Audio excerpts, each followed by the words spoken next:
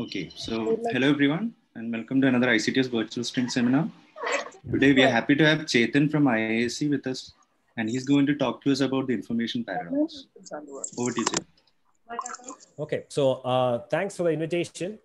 And uh, so I know that the number of slides is a little too much, but uh, towards the end of the thing, I think um, there are a bunch of slides which are somewhat superfluous. So hopefully it won't be too painful. Uh, I'm largely, sorry, was that a question? Okay, so so there was uh, so the, I'm mostly going to talk about this paper with uh, Vaishnav, who is my undergraduate slash master student who is applying for PhD now. And I should really emphasize that this uh, the main uh, so that will be what the most of the talk will be about. And uh, it's uh, so V2 of this has become the JHEP version, but I think put out the V3, which I think is better than the V2 because there is like I think our assumptions are somewhat slightly more relaxed, and uh, we have a more general statement and all that. So uh, so but the V3 is now up on the arXiv. So if you take a look at the paper, maybe it's Sorry, better. just one second, Chethan. I think there's some background. Sorry, could you please uh, mute? Uh, uh, could I request everyone to mute themselves, please? Or maybe Vishal, if you could just mute all. I think I see a lot of people who are muted. I Yeah, think you're not the I'll part do to mute all. Yeah, sure. Yeah, Chethan, you can continue. Yeah. So, um, so I was just saying that. Um, so the uh, so we put out just the V3 of the uh, of this paper very you know yesterday basically, uh, and the published version is V2, which I am not so happy with as the V3. So if you're looking at it, don't look at the published version as much as the as the arXiv version. Okay. So and but I will also you know since uh, Suvrat is in the audience and there has been some discussion about gravitating baths and all that, so we'll also discuss for a fairly lengthy, maybe 20 slides, right? Uh, 20 or 15 slide digression on this question of gravitating bath stuff. stuff. And uh, I'll try to put it in the early parts when people still have some energy. And, uh, but even though my real focus, sorry, my real focus is uh, on this paper today. Okay, so uh, so yeah, so let me start with some general uh, general statements about information paradox. So there are many questions of increasing subtlety which go by this phrase of information paradox, and uh, Hawking's original version can be viewed as some sort of an imprecise statement about loss of unitarity during evaporation of black hole, and it's not very clear whether it is really a contradiction. Uh, uh, so the rough idea is that a black hole radiates as though it were an exact thermal state. So it becomes difficult to understand what happened to the detailed information of the initial quantum state that collapsed to form the black hole. So this is sort of the sort of the very hand wavy version of the information paradox.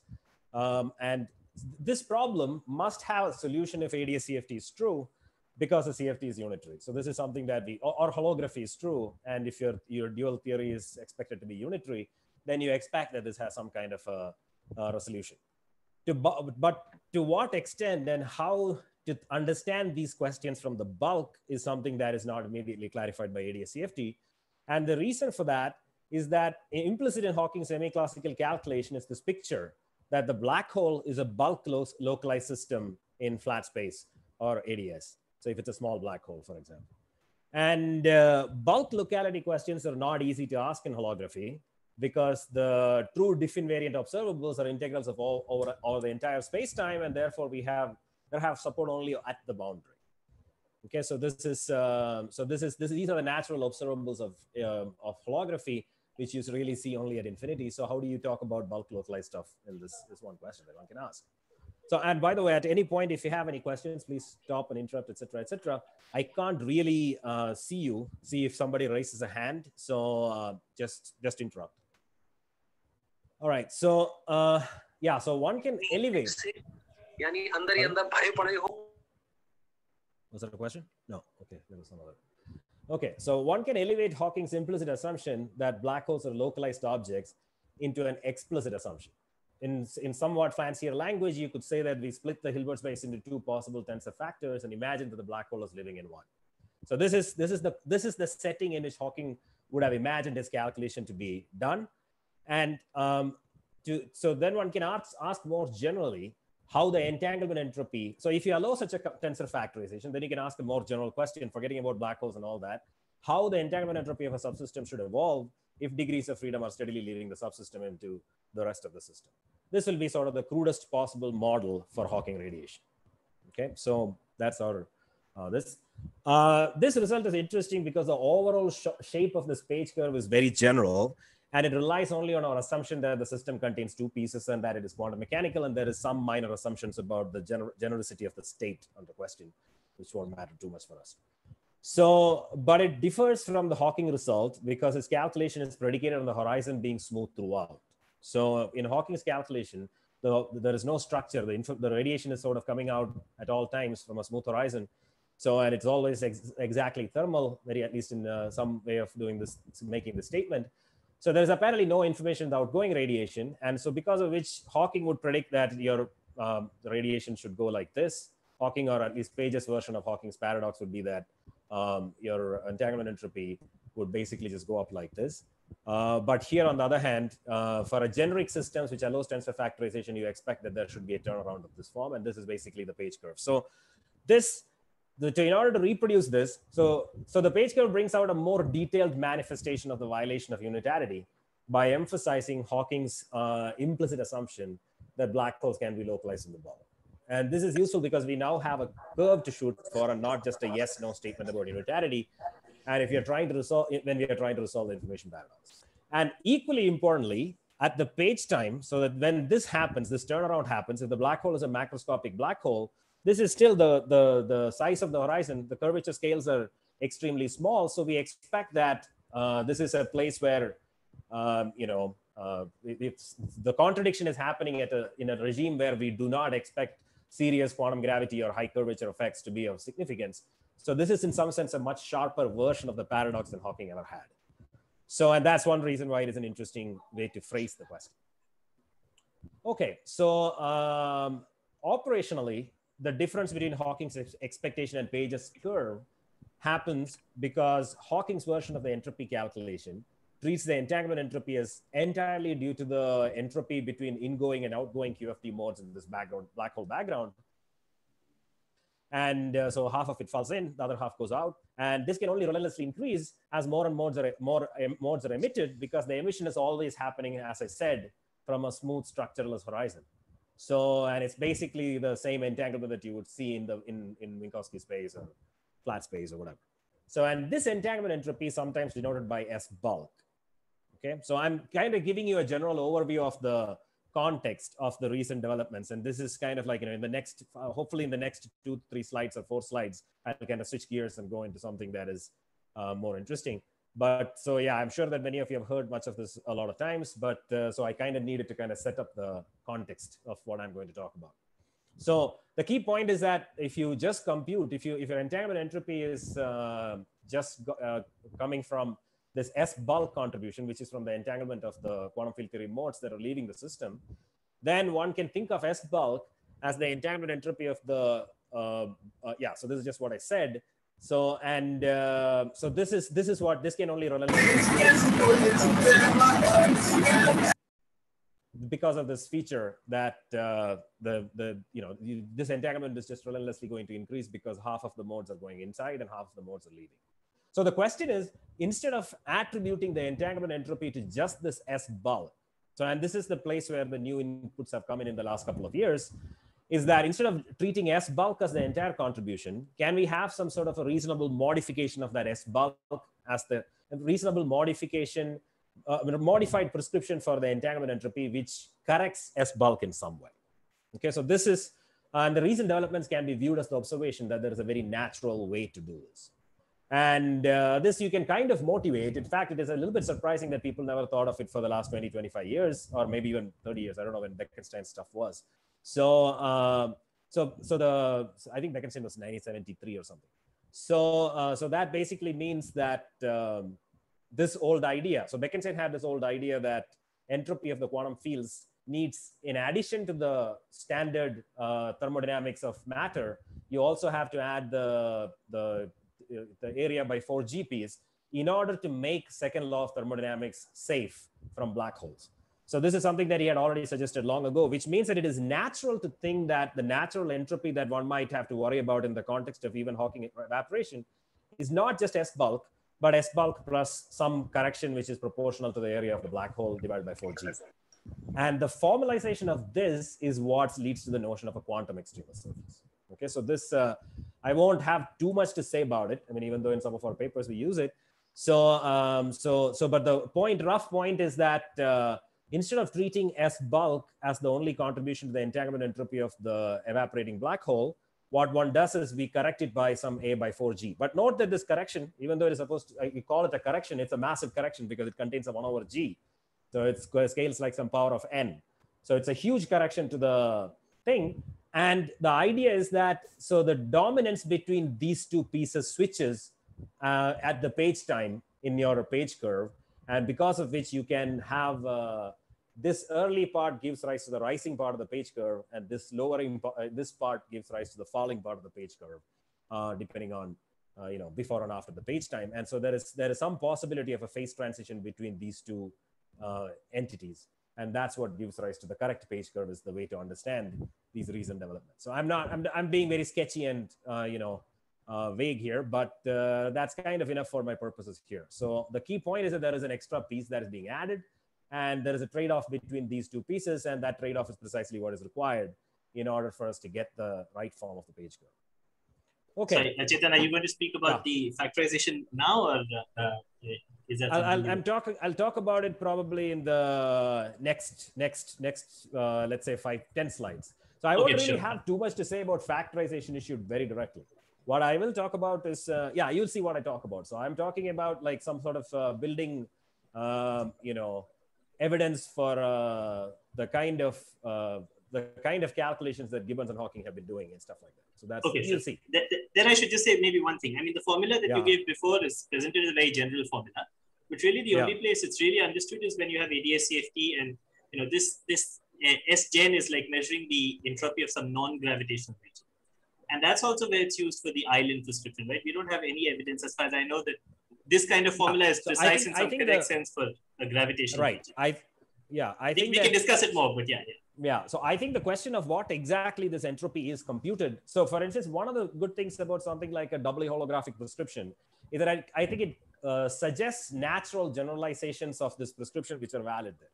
And because of which I think that one can construct, you know, one can use um, uh, definitions of this quantity where we don't know what exactly is being computed, but it is it tells us uh, you know it's it's a it, there are natural plausible generalizations of this thing which might work even in the context of gravity when gravity is so that's okay, the way in so in that case it's the right hand side that's well defined and the left hand side may not be a phenomenon. entropy, yeah, so I'm going to use actually, yeah i'm going to use a, a, you know doubly holographic thing. So in, in that sense this particular split is it just gives me an rt formula basically. Okay fine.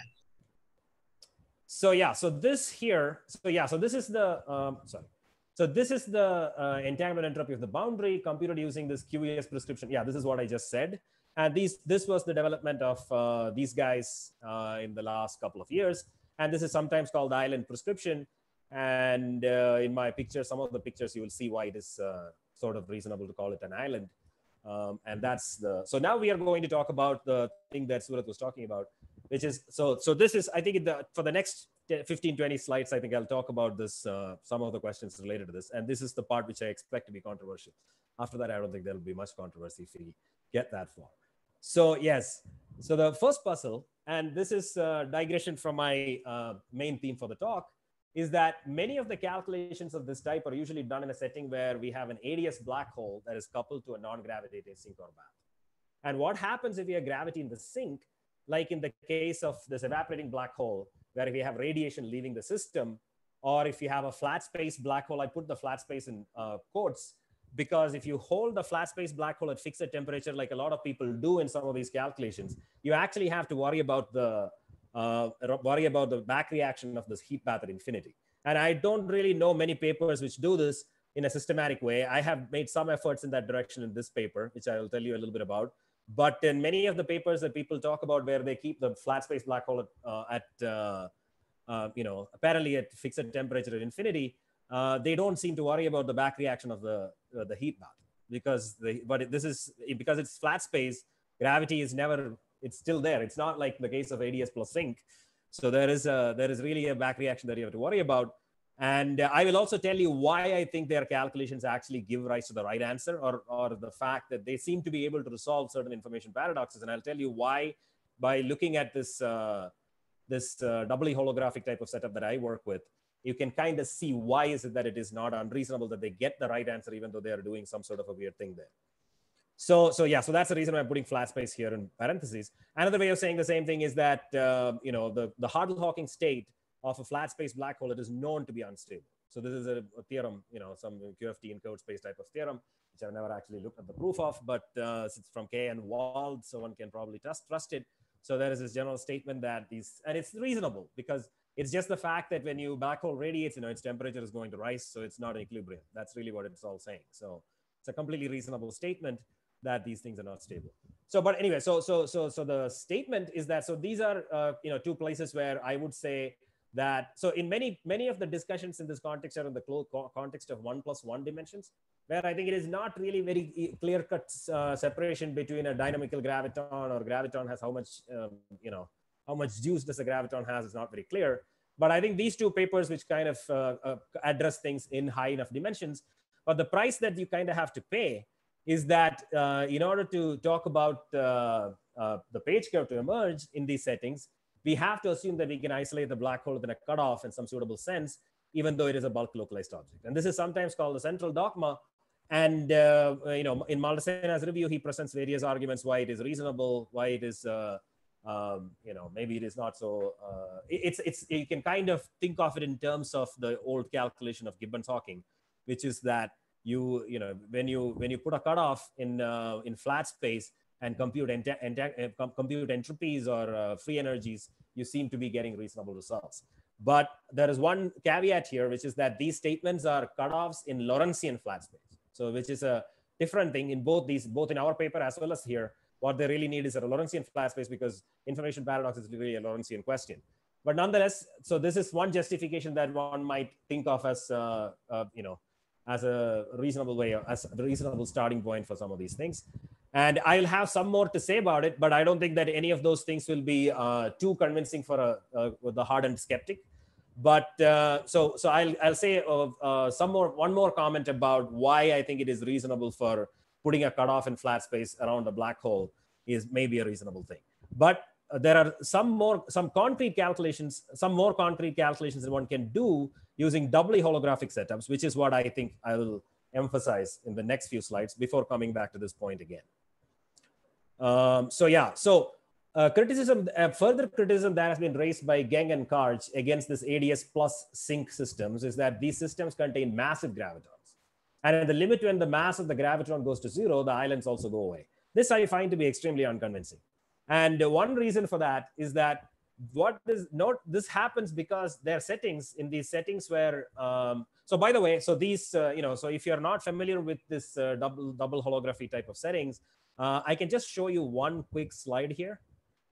So, uh, so you can just forget about uh, this extra stuff that is sitting here. You just think of this as this is one brane, uh, and uh, this is some kind of uh, this. This is an ADS radial direction, and you are basically thinking of a black hole that is living on this brane here. So, if you have not seen that at all, I mean, I, I don't know how much of you know it's like it's so. Feel free to ask questions if if some of you are not familiar with the setting, but I you might I think I saw some talks by um, uh, Andres which were on this topic here, so that's why I'm kind of assuming some of these settings uh, in this talk. So so the basic idea being that you have a, a, a brane's living at an angle, and there is a horizon on this brane, and then you uh, so in the original settings where you have uh, ADS coupled to an uh, coupled to a non-gravitating bath, you basically just have so the, the second brane is not there, and you just have some stuff that is sitting here.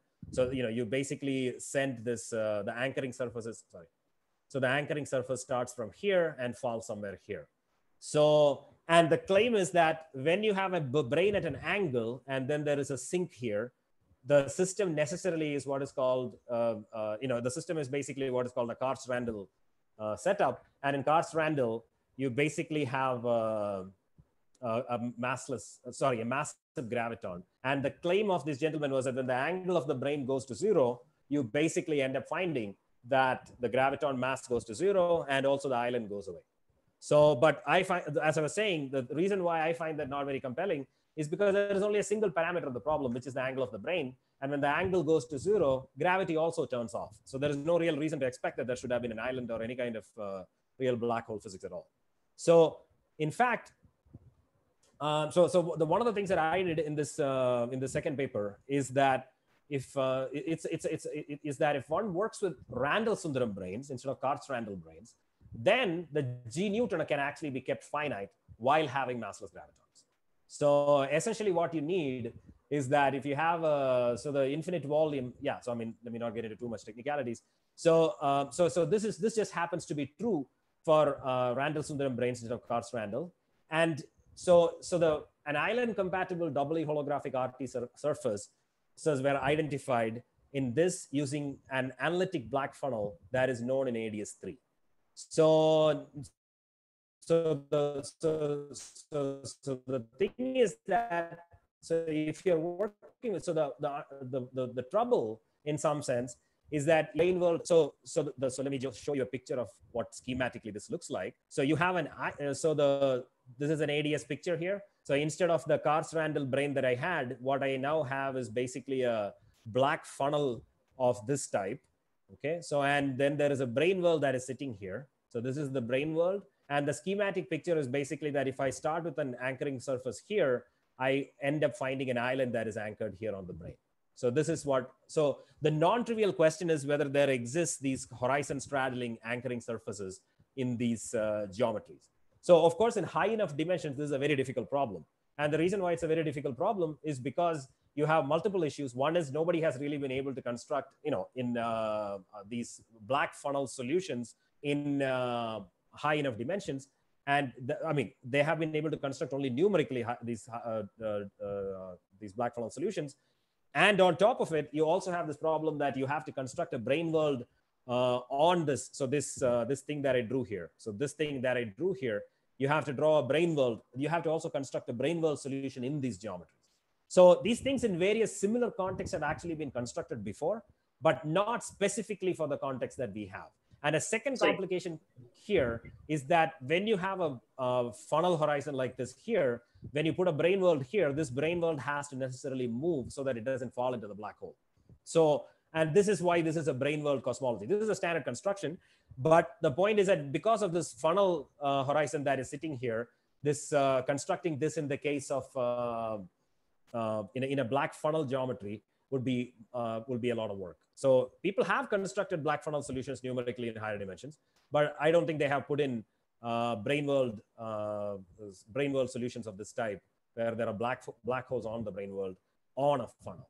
So that's a technical challenge for generalizing this to higher dimensions. But the thing that you can show, luckily in, in ADS3, is that in ADS3, there is a toy analytic black funnel that exists where you don't have to worry about solving these complicated PDEs and you can just construct um, these, uh, you, can, you, can, you can construct the RT surfaces that correspond to uh, the surface and you can see that there are these horizon straddling.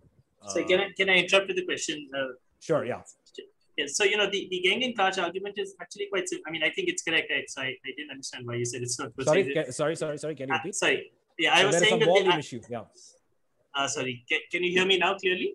Yeah. So, uh, yeah, I yeah, can okay. hear you. Yeah, I was saying the Geng-Karch argument is very simple. So maybe I can I can just restate it also for the, the audience. Yeah. The argument is just that, you know, in these setups that have been used, you take some theory which has gravity and you couple it to a non-gravitational bath. Yeah. And when one does that, uh, you know, the this this theory of gravity that people consider actually always has an asymptotically ADS region. And so there's a stress tensor on the boundary of that. And when you couple yeah, it to a bath, yeah, that's just a, yeah. I know, I know, I know you know about that. I'm just saying mm-hmm. it just so everyone's on the same page. So you know, when you couple it to the bath, the stress tensor ceases to be conserved, and so it picks up an anomalous dimension, and that's why you get a mass. But you know, th- this construction of having a factorized Hilbert space necessarily requires you to take a stress tensor and couple it to something else, right? So it seems, you know, it's true that in the paper they had a specific demonstration by looking at an angle, but it's it seems specific to be much demonstration more of what? I mean, you're right that in the paper the claim they made, which is that you know when the mass goes away, the islands goes away, was made as a function of just one angle.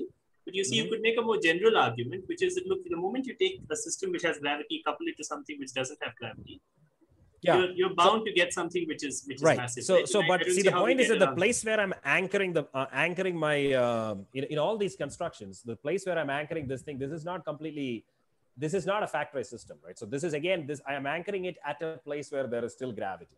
So I, I right. would say that the fact that you're calculating, you're doing a calculation in a setting where you sort of, um, you know, where it is where this sort of a boundary condition is allowed by the brane world, brane world problem and you're able to get an rt surface then i think it is still a reasonable result But you know, in this Oh. setup, now you'd have another subtlety, which is that you know, I mean, uh, first, yeah, yeah, you said, you said, uh, in this setup, you would now have another subtlety, which is you'd have to worry about the factorization of the Hilbert space in the presence of gravity, right? So, Khan so is just saying in the place where you, see- yeah. So the factorization of the Hilbert space, I think in the bulk at this stage, I think it is somewhat premature question because the, uh, the problem is that the way I see it, so, you know, in the bulk, we have bulk gauge invariance.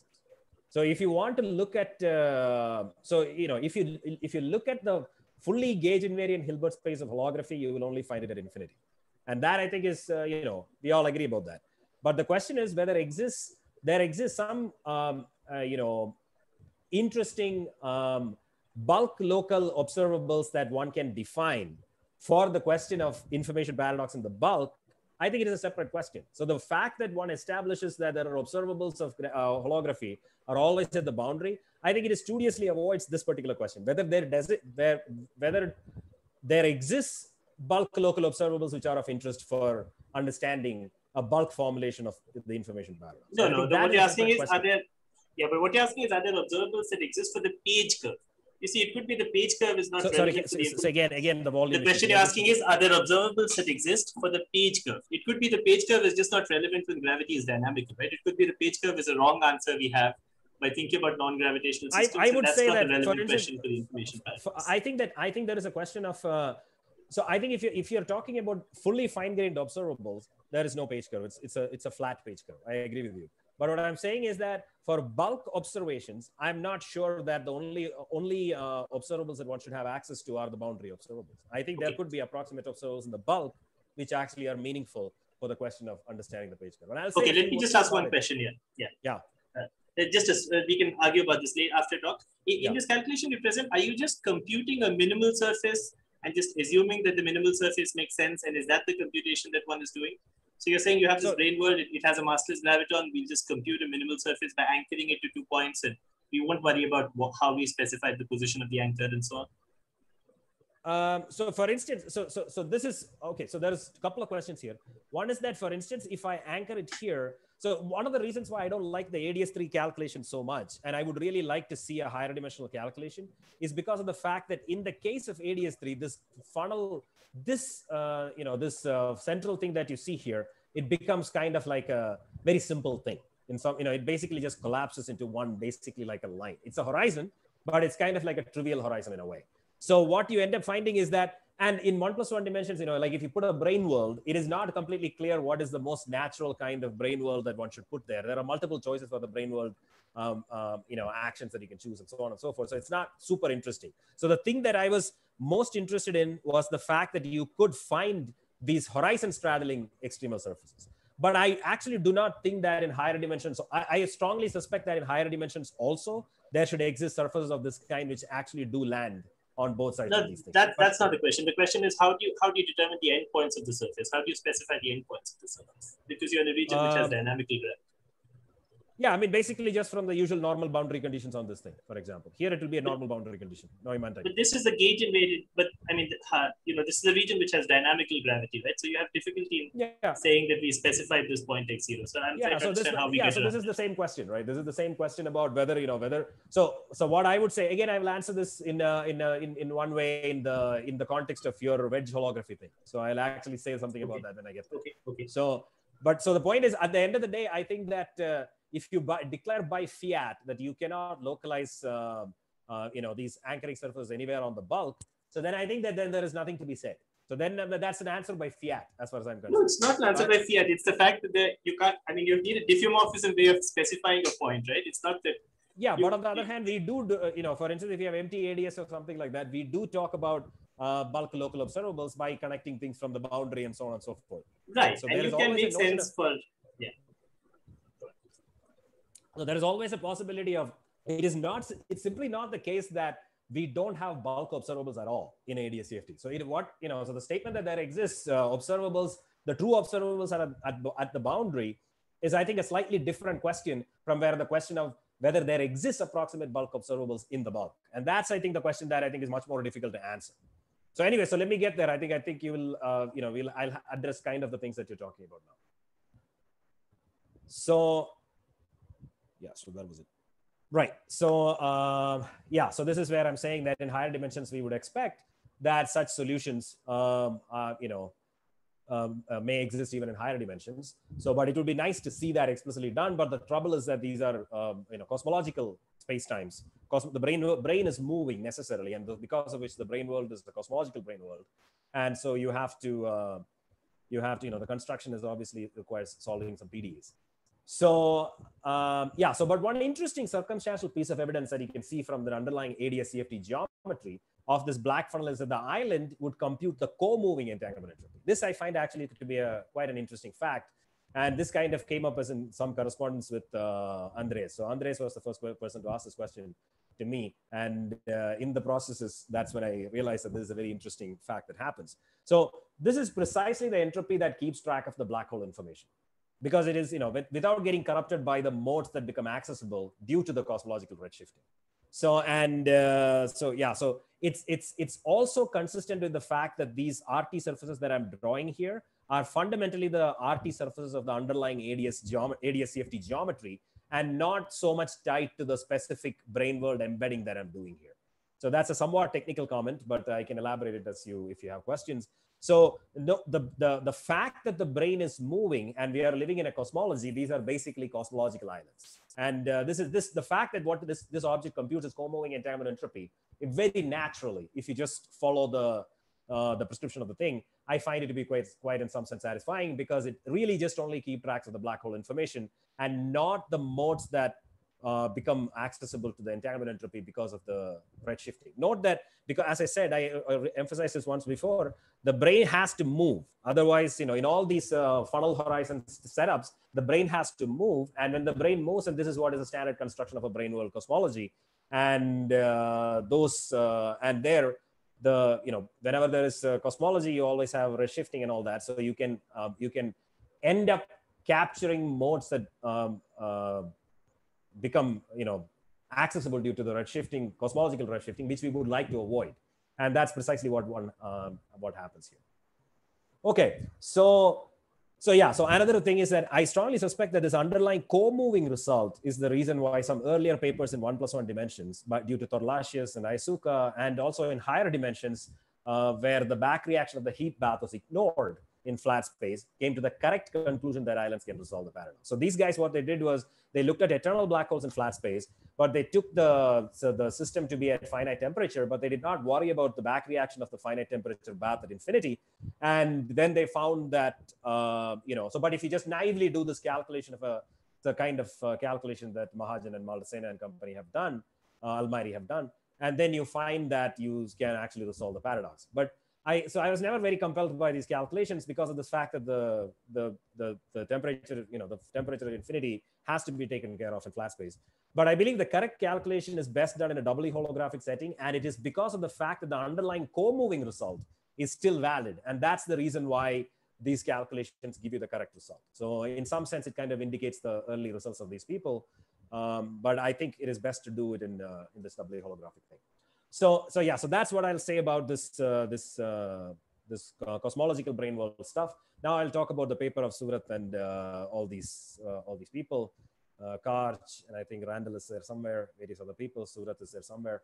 So, so this, this is the paper that I'll talk about a little bit. And this is the work that, you know, so this is, this paper is in collaboration with Kaushik, um, who's our student, who's our student who's graduating now.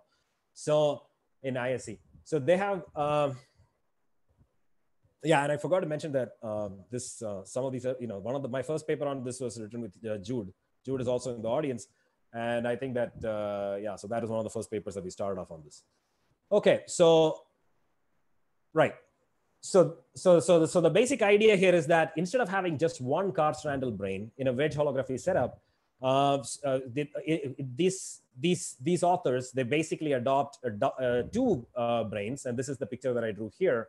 So this is one brane here and one brane here. And if you have two such branes the advantage is uh, there are multiple advantages. And uh, um, so so so and then there is this black string horizon that interpolates between the two branes which is what i'm drawing like this here. Okay, so this is the black string horizon that is connecting between this end to this end. So, um, and that's the setup. And so essentially there is two branes. It's an ADS wedge. So, okay, so just to give you an overview for the people who have not seen this. So this is, uh, so this is an AD, this is an ADS a slice of ADS geometry. There is one brane here, one brane here, and then there is a horizon that is sitting here. Okay, so this entire thing is connected by a horizon. So that's what I'm calling the black string horizon, and that is an old paper by uh, Chamblin and uh, uh, Karch. So which is kind of an interesting setup. So and uh, this is sometimes called wedge holography, and you can see that there is a preferred point is sitting here, and this is what I'll call the vertex or the defect. Okay, and the interesting thing about this is that because of the presence of the two branes, now again we have massless gravitons in the spectrum. So this is some sort of a more controlled So Chethan, there's some there's some lag, I think, because uh, oh, in your sorry. slides in the. Uh, um, so, but I think it was also because I was flashing a little bit. I was going. Uh, can you see my slides now? Right now, you're an even better setting for trying out uh, some of these. Is that the slide you're on as well? That's what we uh, I am on slide 21 now. Yeah, yeah, we see that. Yeah, yeah. Okay. So I was going back and forth between a few slides a little quickly. Maybe that's where there was a lag. So, okay. So, um, so, and we have a black string horizon that interpolates between the two branes. And uh, this is a nice setup. And one advantage here is that it lets us solve ODs instead of PDs. And that's the thing that I really like about the setup. And because, you know, so in the case of the thing that I was looking at before, you really have, once you go to higher dimensions, things are hopeless, but partly because of this fact that you have this time dependent background. And also because you have to construct this brane world on it. And it's just, uh, you know, there's a black, the, the black funnel itself has to be constructed numerically. Okay, that has been constructed by hardworking people like, uh, you know, uh, various people. So, and, uh, uh, but on the other hand, then you also have to construct a brane world on top of it which is already hopeless. And then you have to construct RT surfaces on it. So these are all like at least two or three layers of numerical relativity built on top of each other. But this prob problem kind of simplifies things quite a bit because what it does is that because of the structure and the symmetry of the system, you just have to solve an ODE to solve it. So, and we don't have to, uh, yeah, so that's one advantage of the setup and, oh, and while keeping the graviton massless. So this is the good thing about it. So, um, so we don't have to solve time-dependent PDEs like would be required in the higher dimensional generalization of the thing that I was looking at before. But the disadvantage is that the bath is also a black hole. And so it is quite different from the gravitating sinks slash baths one expects in, say, the asymptotic regions of flat space black holes. Okay, so the asymptotic region of this ADS wedge is at this defect that I showed you in the picture, which is in the middle of the physical brane bath brane system. So extracting general lessons from the system requires some care. So what uh, uh, what these authors do is that they they adopt the point of view that because of the dynamical nature of gravity on the bath brane, one should not anchor the RT surface anywhere specific on the bath. So this is what they uh, adopt as their philosophy. And when you search for an RT surface on a compact geometry without anchoring it anywhere, it'll straddle the bulk horizon. So what I mean by that is that let's you know let's forget about all these curves that I have here, which are basically from our paper. But if you just have these two branes, and let's say that you just uh, uh, just have Neumann boundary conditions here and here uh, in this uh, for a for a for a brane for a for an RT surface, and then you try to find the extremal surface, you will find that this will actually go and straddle the horizon here. Okay, so the horizon is sitting there. This is the black string horizon, and this is not very surprising from my point of view because what it really does is that the RT surface associated with the entire boundary of a large global ADS black hole is its event horizon. So this is something that we know. So essentially the point is that if you don't anchor anything at the boundary, then of course the RT surface is going to straddle the horizon and that's what they're finding there. So the interpretation of that is of course the question in some sense. So this is the statement that the, so the, so the way they, they interpret the statement is that the fully fine-grained page curve of the combined system plus bath is a constant as opposed to the slight shaped page curve that emerges if one computes the entanglement entropy of just the system. So note that for a so the page curve that I showed you earlier was for an evaporating black hole, which is why it goes up and comes down. But if you have an eternal black hole, what happens is that this uh, the page curve is uh, it rises up and then saturates, um, and that's something that you expect in uh, unitary systems. Okay, so and this fine-grained result is a version of DeWitt's observation from uh, long ago that the exact observables of quantum gravity are holographic and therefore have no support in the bulk, which has been emphasized by these authors as well. Some of who are probably in the audience. Okay, so uh, in the second half of the paper, which is the part that uh, I, I, you know, so which is the part kind of what we are interested in some sense, uh, it consists of uh, considers RT surface as anchored to the defect at the vertex of the wedge, which means you're going to look at, so this is an example of a RT surface anchored at the vertex of the wedge. So uh, where gravity is non-dynamical. So the key point there is that because now you know the, the vertex is at the asymptotic boundary of ADS, note that that's really the only point in this uh, in this wedge geometry which is at the asymptotic region. This is the only asymptotic point here. So everything else is uh, inside the bulk. So and uh, so at the vertex of the wedge where gravity is non-dynamical, and when they do this, they find a page curve which has an information paradox thanks to this uh, Mathur Hartman Maldacena surface. So what I mean by that is these, you know, so this, if you look at this, there's a red curve here, and these red curves start from the anchoring point and go and cut the horizon. And if it cuts the horizon, it's bad news, and it means that you're generating an information paradox because as the time goes by, the you know there's a piece of this uh, this surface that goes through the horizon into the other asymptotic region, and its a length is always going to keep steadily increasing and that's usually taken as an indication of the information paradox. Instead of like as i was saying it should actually rise up and saturate but instead it will keep rising and rising and rising and that's not a good thing. So so those are those surfaces are what i'm calling the mathur hartman maldacena surface. Um, and, I'm, I'm, I'm, you know so usually sometimes i call hartman maldacena surface but i think that mathur had these papers on these nice slices which is exactly the same idea long long before that so uh, that gets resolved by an island. And the authors argue that the emergence of this light-shaped unitarity compatible page curve here is a consequence of the fact that there is a tensor factorization, of the dual defect CFT. Okay, so that's reasonable. So you have in the wedge, the there is a natural organization of the degrees of freedom of this uh, this defect CFT, and uh, there is a so because and this tensor factorization is what is responsible for this for the the shape of the page curve is what they argue.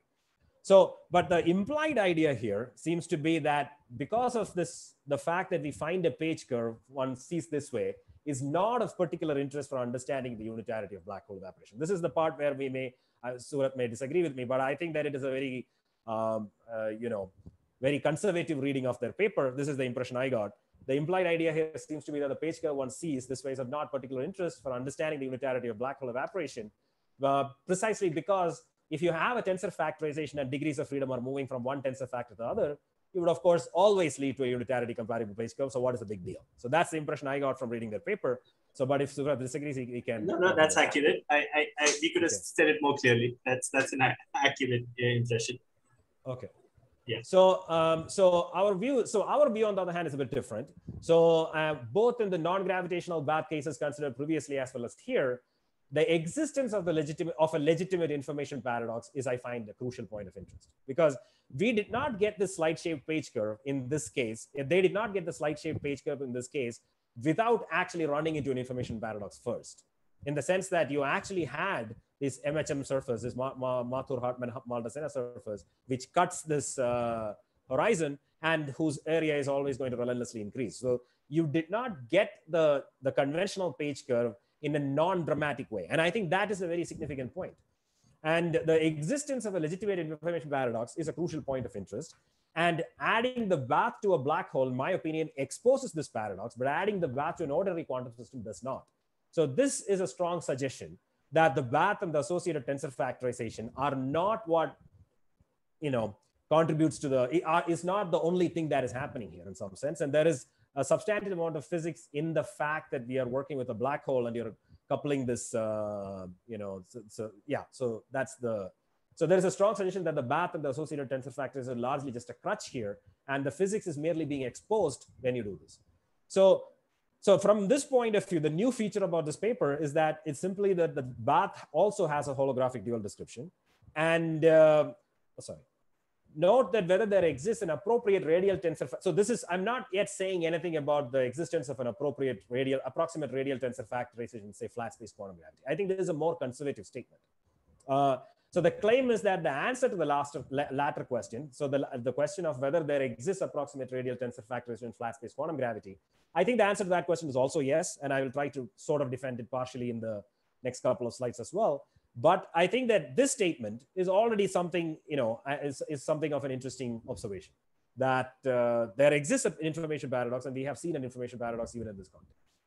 So, so yeah, so, right. so just what, to understand what you're saying, yeah. uh, is your point just that you know we, uh, we see a phase transition between two, you know, page curve kind of goes up and kind of comes down, and that Mhm. corresponds to a, to a phase transition between two RT surfaces.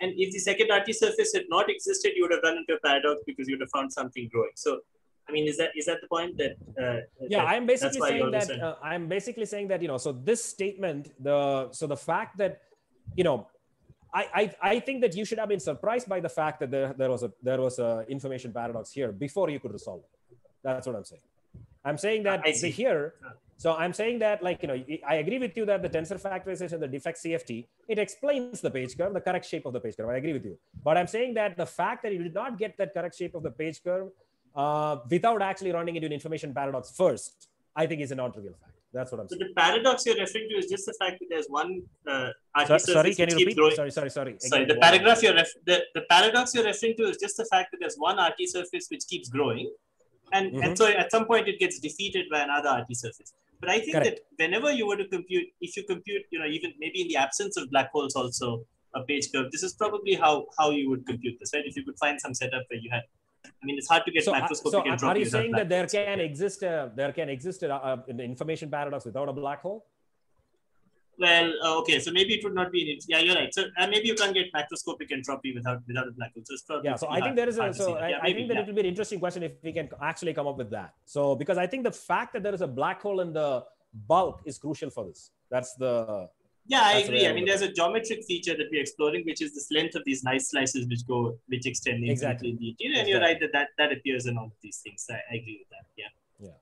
So, so the so the so the paper with Kaushik that I will just mention now, which is where this plot was from, is uh, is basically what we try to do is we kind of put these results in some sort of perspective by actually looking not just at uh, these Neumann boundary uh, conditions for these uh, RT surfaces, but also we consider the possibility that you can anchor, um, you know, by you know, so anchor uh, these RT surfaces on on one um, you know one end of these things. So what I mean by that is let me show these pictures here. So here, for instance, what we are doing here is these are Dirichlet boundary conditions. Okay, so what we are doing is we have we are considering the possibility that RT surfaces can exist which have uh, Dirichlet boundary conditions here, here, here, etc. And so note that these are gravitating regions. Unlike this point here, these are gravitating regions. So, and so in some sense, this whether we can actually put a Dirichlet condition here is questionable. So we'll adopt the point of view or philosophy that um, they are a valid uh, solutions of the equations of motion in the sense that they are the variational principle is satisfied and the boundary terms are all kosher. So that's the philosophy that we'll adopt. But to completely defend whether you, you know you can uh, localize an object in uh, in a gravitating region is of course the center of the debate in some sense. So I won't have much to say about it. So I will view this as as adding circumstantial evidence that that is a legitimate thing to do, but not as some kind of a proof that one can do it. Okay, so uh, what what we'll do is so so the first motivation for trying these Dirichlet boundary conditions is that it is technical. It is a, there's a technical motivation, which is as I said that they are perfectly valid boundary conditions for the boundary terms arising from the variation problem for the for the brane world action. So and the second motivation is philosophic, and this is what really uh, has me interested, which is that ruling out RT surfaces anchored to a gravitating bath is unsatisfactory in my opinion when done by fiat. So instead, what I would propose is that it would be more instructive to allow Dirichlet as candidate boundary conditions a priori and explicitly check whether they allow solutions and whether they have natural limit where gravity decouples from the anchor. And, uh, and note that we do have such a limit here. So if you go all the way to the boundary here, you see that gravity has decoupled. So we have a very natural limiting process that you can see here. So, and that's the reason why we were interested in this. So if a, such a limit exists and the physics is very different in that limit, then I would be- believe that it is a strong argument that weakly gravitating anchors are fundamentally different from non-gravitating ones as far as the information paradox is considered. But in this paper, we found that Dirichlet solutions actually do exist and that they do have natural non-gravitating limit when, the, when we slide the anchoring location all the way to the defect. Okay, so that's what I So- mean by this picture here. Can, Yeah. can I just say something? When you say Dirichlet solutions, you just mean you're going to fix one of the endpoints of the RT surface. Exactly. I see. So we Yeah. were aware of this observation. I mean that of course if you fix the endpoint then you'll get get islands. But you know the reason we we had we had was that in this setup where you fix one of the endpoints as you have in this figure, uh, you're treating the left and the right asymmetrically. You know on the right you're you're presumably Yeah. going to use Neumann boundary conditions, And Right. on the So on the just- left, you're going to use Neu- Neumann, and on the left, on the right, you'll use Dirichlet. But why is that a good thing when both are? So I think it is partly because I kind of view this as a way of separating the, graph. you know, ultimately, in order to define some form of an entanglement entropy, we need to actually split the system into two halves. So the question is whether there exists uh, some natural way of doing it in a gravitating system. So that's the thing that I was sort of my my motivation. So the question of like you know, so it, it, my view on this is that uh, anchoring this here is essentially the equivalent of somehow splitting the gravitating degrees of freedom. And of course, there's an experimental calculation. It is not that we have no magical way of, uh, you know, saying what is the, where are the precise degrees of freedom. But the fact that it, it to me, what this means is that the degrees of freedom here on this side and the degrees of freedom on here on this side are entangled with each other in the gravity in the weakly gravitating system. That's why not at anchor it on the other side as well? I mean, let's say you take both the systems well. to have the same We gravity. that So as you could put We Dirichlet on have a very sides. detailed uh, the phenomenology of these curves in the in the paper. I'm just sh- showing you the the simplest version of it. So this is in some Right. sense enough to make my point, but there is like yeah, we have a detailed phenomenology of these curves in this thing, and I would say that they're all consistent with the general impression that once you you know, so if you're close enough to the the weakly gravitating limit, they are all consistent with this picture that it behaves essentially like no gravity. So that's okay, what I let, me yeah, I, I agree with you. And as I said, we, I mean, this is something which we discussed that, you know, if you anchor things, then of course you expect to get back the same, the same island thing. But the question is, why is this something that makes sense? I don't think, I mean, we were, it's, I think you, uh, uh, why is this something that's a well-defined quantity to do? You know, you're saying the intuition that you're presenting is that you expect to have some local observables. And so you should be able to fix these, these quantities. I, I'm the saying quantity that, that that you're computing is a, is a very fine-grained quantity. And so, you know, these kinds of things which work for like I, I would I wouldn't say that, I wouldn't, say- I wouldn't say that it is fully fine grained. I wouldn't say that it is fully fine grained. I would say that it is uh, approximately fine grained. So because if I take it all the way to infinity, then I think it is fully fine grained. But if I'm staying here, it is not fully fine grained. But what So, is it? uh, Can, can you define what this quantity is in the dual yeah, in so- theory or something? So, so, so it is. So you know, one way to look at it. so maybe you can ask this in another two or three slides. So I think I'm almost through with this thing, and I think that you, then you ask again. I think it will kind of at least my perspective on this will be a bit more clear. So uh, where was I? Yeah. So uh, so we found that yeah. So these solutions exist, and then we found that the island physics is identical on a weakly gravitating anchor as it is on a non-gravitating one, which is basically just a statement that I said, which is that if you slide your anchor all the way to the the vertex of the defect, you end up finding that uh, you have no um, you know, so you, you the, the structure of the curves remain invariant. It doesn't change. So the island physics, everything remains as it is, as you can see. So the all the the Hartman Maldacena surface, etc., everything is always there, and the relative areas and all of those, the physics also remains intact. So this gives us a natural context to understand the slide shape page curves of uh, this paper as well, because it's a sort of a limiting case of this calculation. And uh, so also I want to emphasize that throughout our calculations, the graviton is massless. It's a complete in a completely controlled setting, which I think is uh, also worth emphasizing. Because in my previous paper, even though the graviton was massless, I could not find, because the brane world uh, uh, solutions could not be constructed, I only could argue that there was uh, these RT surfaces, and I could also argue that the co-moving entanglement entropy had the right behavior. So those are the only two things I could argue. But here, on the other hand, we have everything that is completely computable, and you find that this thing uh, works out in the same way. Okay, so and that's in the in the context of is massless graviton. Okay, so uh, so yeah, so these comments here, I think uh, at this stage, I think after uh, these two slides, I think uh, you, uh, Suvrat can ask his question again. So general comments before, uh, sorry, ah yeah, general comments before moving on to the the rest of the talk, which is about this ergodicity business. So so, so one way in which I think of this Dirichlet prescription here is uh, in terms of a doubly holographic analog of this uh, Gibbons-Hawking idea of fixing field values at the cutoff. So that's the that's one that's one of the reasons why I was motivated to try this, and because it also played a role in this uh, you know the not doubly holographic setting that we had looked at, and also in this review by Maldacena. So and there also this you know the central dogma that they talk about is essentially a form uh, is a version of uh, you can think of it as a roughly speaking, a Gibbons-Hawking type of uh, idea where you put this cutoff and so on. So one way to motivate that a non-trivial page curve. So this is, I think, uh, a partial answer, a heuristic answer to the question that Suvrat was asking. One way to motivate that a non-trivial page curve can exist in flat space is to start with the usual near horizon limit argument for the ADS CFT correspondence. And the near horizon limit is a low energy limit. And by taking it, we are actually decoupling the brane or black hole degrees of freedom from those in the asymptotic region. So, but it is believed that the system admits holographic descriptions both before and after the limit. And that's a crucial point. So, because before we are living in flat space and we believe that flat space quantum gravity is holographic. So, I mean, maybe more, it is more speculative in some sense than what we know about ADS-CFT. But on the other hand, I think none of the people here would really disagree with me that uh, we believe that flat space quantum gravity is holographic. And the after description is also uh, holographic because that's just the usual ADS-CFT correspondence. Okay, so you started at the black hole in flat space, you took the near horizon limit, and then essentially you are taking a low energy limit and just looking at stuff close to the black hole, and you have a holographic description there. But before that, also you have a, because you are living in flat space and gravity is there and so on, you expect that the system is again holographic. And the fact that there exists a holographic description even after the near horizon limit is what I think is crucial for this island mechanism. This enables us to view stepping back from the near horizon limit. So instead of going all the way to the near horizon limit, uh, you know, what you can do is you can kind of think of as the near horizon limit is being weakly coupled to the degrees of freedom that you are that you kind of that you decoupled before you uh, went to the, uh, the near horizon limit and that's in many ways analogous to this coupling this holographic system to a sink in the same spirit that penington and company have done that so the island prescription invokes the non-locality associated with the holography in the after description coupled to a bath. That's the, that's the point of view that I'm taking.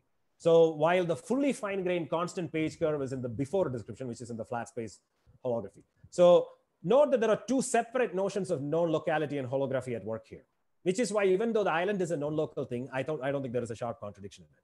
So, and I think at this stage, I think Suvrat can ask his question because I think uh, that's all I really have to say about that. Yeah, no, my, my question is just, is there a precise description of what, is there a precise, at least yeah, guess for no, what no, is being No, I don't, no, I don't have a precise description of uh, what, so essentially the question that you're asking is, uh, you know, is the question of, um, um, is the question of, uh, uh, you know, how uh, information is localized in uh, in in gravity. So that's it's really like a, it's really so so so the the zeroth order answer is that the, all the information can be found at infinity but i think that there exists some intermediate answers which are interesting which is to do with uh, you know which is has to do with the fact that the holographic direction feels for many purposes like an ordinary space-time coordinate. And i think that that fact should not be underestimated so uh, yeah, so that's I mean, so that so what I'm doing is in some sense building circumstantial evidence. Not I'm not trying to provide a proof. I'm trying to what I'm trying to do is I'm trying to build circumstantial evidence by doing some what I would call well motivated calculations, which actually do seem to have this uh, property that you can go to a limit where gravity decouples and it somehow retains the same physics that one has uh, when the anchor was uh, you know non-gravity. And, So- and do I understand correctly in all the calculations you presented, you just it's just a bulk geometric calculation in that you you you, Absolutely. you as in this case. Yeah. So fine. Yeah. Okay. So that, Yeah, that's everything- fine. Yeah. Okay, no, I agree with you. It- It's possible there's something that, that could be being computed, but I just want to say one thing which I think might add to the subtlety. You know, for instance, in this paper we wrote with Chandramouli and Olga and so on, one of the points we made was if you just look at MTADS mm-hmm. and just look at perturbative effective field theory in gravity, these constraints are already important for telling you even at low energies, you know, gravity localizes information unusually. Uh, Yeah. For instance, if you wanted, if you just look at the vacuum, you know, people talk about entanglement in the vacuum. But in Yeah. gravity, in the presence of the vacuum, you know, the entanglement, you know, you can see you're in the vacuum just from outside by measuring the energy from far away. No, I have no beef with that. I have no beef with that, and I think that that is perfectly reasonable. I mean, I think the, you know, so roughly speaking, um, you know, so so so for instance, if you just have, uh, you know, so if you if you just have, you know, just the Hamiltonian constraint together with the fact that you know if you're on a quantum theory or measuring correlation functions, I think you basically have holography. There is uh, this is I think there is some old paper by uh, I, I think uh, I think probably Giddings or somebody where I have seen similar comments. So and it No, seems no, Giddings always doesn't seems say very this. Giddings doesn't agree with this. This, this is, this is something we this is something we say, but I don't think Giddings says it. Uh, Giddings, Giddings has a different. Uh, uh, Okay, so maybe he, I'm, he thinks you uh, can have yeah. split states and so on. Yeah. Yeah, so But I think yeah, I agree with maybe maybe maybe you told me, maybe you told me. I don't remember exactly, yeah, but yeah, okay. So so anyway, but that seems that's I mean you know so the idea that like you know the Hamiltonian constraint is basically uh, yeah I mean it just seems like that already contains gravity. I mean, Wheeler-DeWitt equation, you know, all of those things. So it all of, already contains holography in somehow, somehow in my view. So, uh, so that I have no beef with them, and you know, it's all fine. Fine. Okay. Thank you.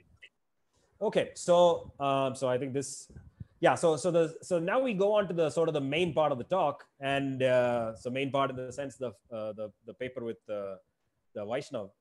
So, and uh, so the reason I wanted to kind of emphasize this part is largely because this is the thing on which I was actually invited to give the talk. But then on the other hand, we put out this other paper after that, then it seemed like maybe it is kind of at least interesting for some people to talk a little bit about that. So, okay, so um, so yeah, so now it's a complete change in shifting in gear in some sense because uh, now we are going to talk about this question of ensembles and uh, semi-classical approximation that seems to play a crucial role in all this discussions about the page curve um, in these uh, in, in these recent developments.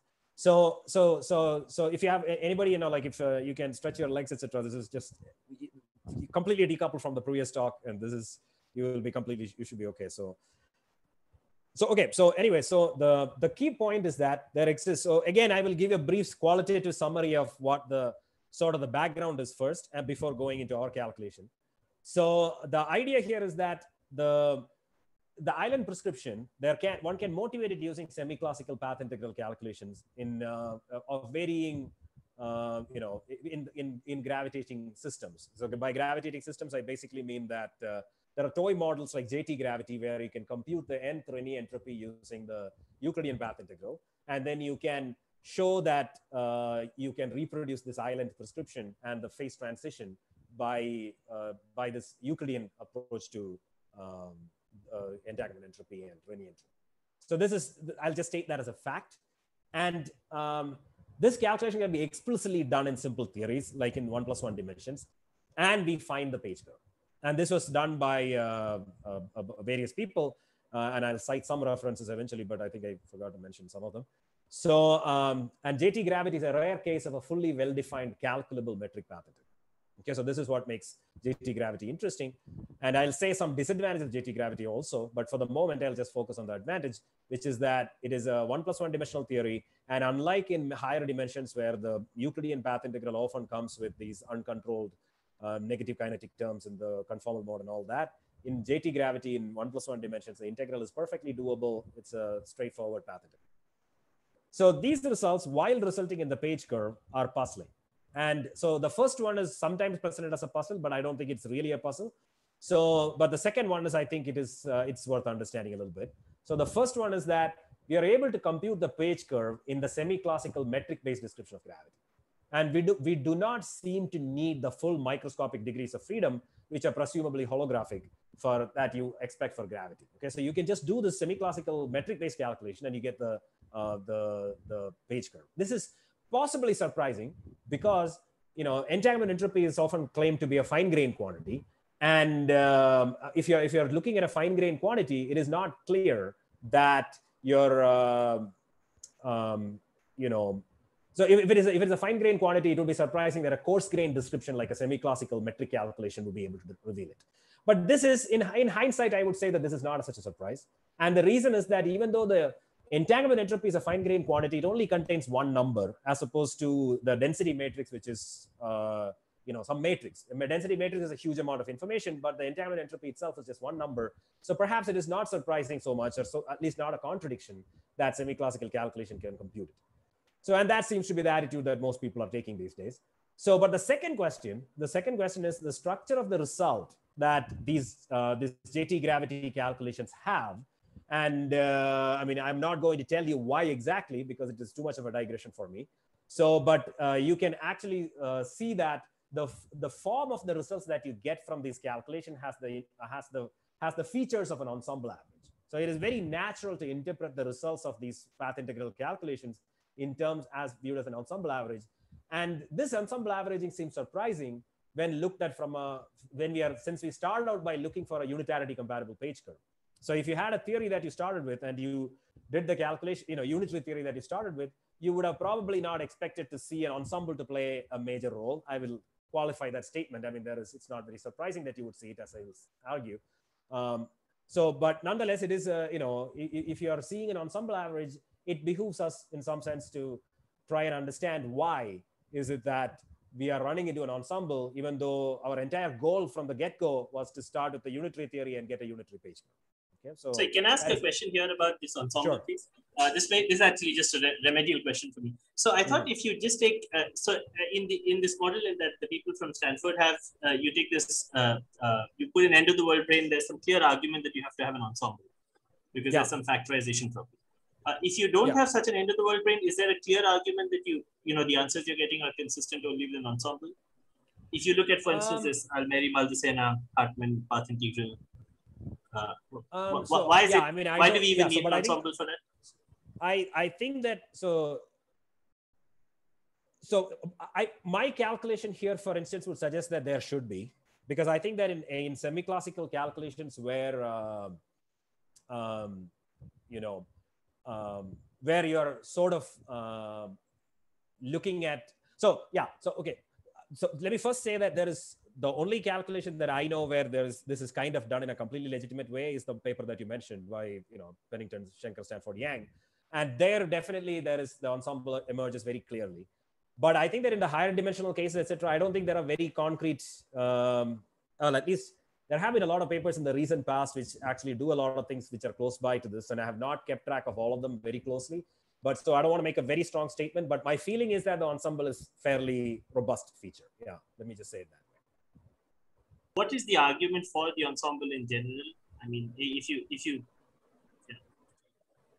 I think it is just coming from the fact that you're computing, you know, when you it- the the entanglement entropy is there is a psi i psi j uh, expectation value is what you get if you look at uh, one piece, and then if you, I mean, you have to write the a couple of things down, but if if you if you compute, no, I know the argument that you're mentioning in this Penington Stanford Shankar. Yeah. So and but that But the- structure seems fairly robust, right? I mean, it's not. no, like, but they have uh, something very unusual that's also happening there. So, as I said, the unusual thing that they have is that you know their Feynman rules are that you do the path integral in gravity, and then you add on this additional decoupled brane. And maybe Yeah. that's a well-defined thing to do in two dimensions. You know, you have these uh, two-dimensional, uh, uh, you know, Weil-Petersson moduli spaces and of uh, Yeah. hyperbolic, uh, met, you know, metrics bordered with geodesics. Uh, but the, the, the ensemble is coming from the fact that this So, brane, but I think, but I, I think has that to, to IG make the bare statement about ensemble, you don't have to do these calculations in a fancy way. So you just have to look at, for instance, you can just compute the second Renyi entropy. And already at the level of the second Renyi entropy, you can see that. So what you're talking about is really trying to compute the, you know, the analytic continuation for, for the, really the, the, the you know, Okay. the, this thing and all that. Even at the very basic level, just if you compute the, uh, you know, the entanglement, uh, for, the sorry, the density matrix and the, uh, what is it, the second Renyi entropy. If you already at that level, you can see that the ensemble is very natural. Okay. So yeah, so I think it's just a it's a very basic structural thing that just happens because of the fact that you're adding this uh, these replica wormholes. It's uh, yeah, that's yeah. So that I really don't have much to say about that. I haven't really looked at it in the in higher dimensional case. I think there have been some papers with Balasubramanian and company. They may talk about it, so but I have not really paid attention to them much. So yeah. Okay, so um, so yeah, so so the, the point, so the thing that I wanted to say was that in in fact, JT gravity can be written very explicitly as a sum over an ensemble of matrix models.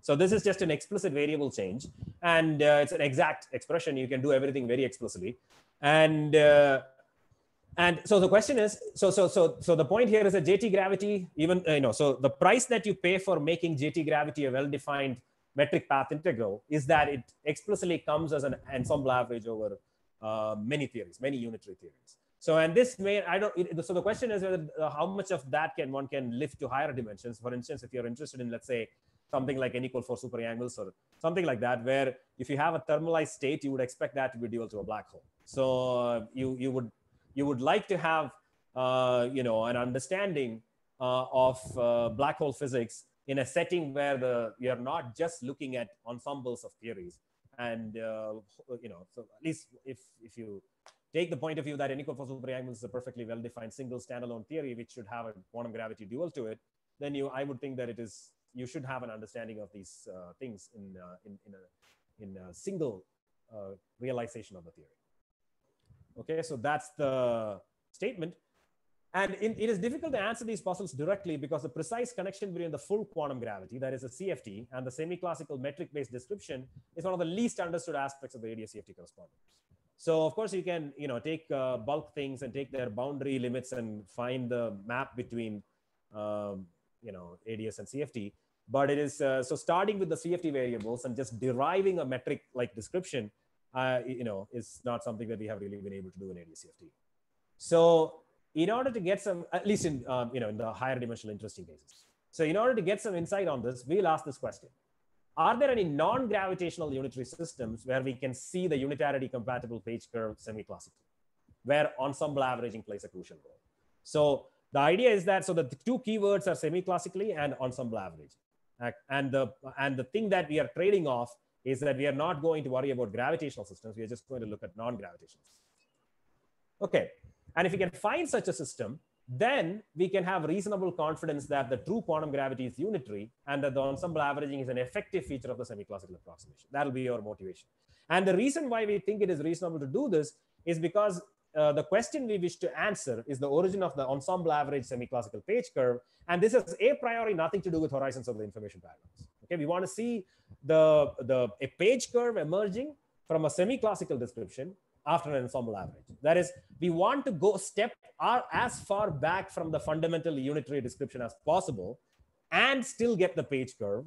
And uh, it, whether we can do that is the question that we are sort of interested in. And this, in principle, is independent of the horizons, the existence of horizons or gravity or information paradox or things like that. So that's the reason why if we can do that here, maybe that also applies to gravitational systems is the philosophy. Okay, so we can hope to gain some insight on this problem by studying a non-gravitational system. And the, non-gravitational systems that I will take on are the ones which are uh, which, uh, which, you know, in which we can expect to see ensembles play a role semi-classically. And a possible guess is our systems which are quantum chaotic. Okay, so the reason is that we expect quantum chaotic systems to exhibit thermalization via what is known as Eigenstate thermalization hypothesis. And I'll take a very specific um, version of the ETH. I mean, I won't need, well, I mean, ETH is, you know, it has a, yeah, I mean, ETH is basically the statement that if you compute expectation values of small operators in high-lying states in chaotic systems, quantum chaotic systems, then they basically the expectation values look thermal. That's the way in which usually the eigenstate thermalization hypothesis is presented. But the way in which I will introduce it is actually a, based on an old paper of uh, where he uh, first wrote, first used uh, this thing called Berry's conjecture. And uh, I will explain what Berry's conjecture is momentarily. And he used that as a motivation for arriving at the, the more conventional version of uh, the ETH. So, so I mean, I should also say that uh, I gave a talk on this in uh, Israel a couple of weeks ago, and I was told that the ETH was not just. Uh, so I, I, I, often uh, credit it to Srednicki and uh, Jamie Deutsch, but there is also a paper by I think it was was the author. So there, there is there is an Israeli um, ah, now I can't remember the name. I forgot to put the reference again here. So I'm again, I'm again failing the original author of ETH here. So, but hopefully it'll come back to me. I'll remind you at the end. So, uh, so, but yeah, so, uh, so almost 10 years before uh, both Srednicki and Deutsch, there was actually a paper uh, where the ETH idea had come up before. And uh, yeah, so anyway, so we consider a hard sphere gas. We are going to work with a specific hard sphere gas leaking slowly from a small box into a bigger box. And this is believed to be a quantum chaotic system. So this is the toy model that I will use in order to kind of uh, uh, to, to in order to motivate the emergence of semi-classical ensemble averaging in a quantum chaotic system and get the structures that we expect to see in the black hole case.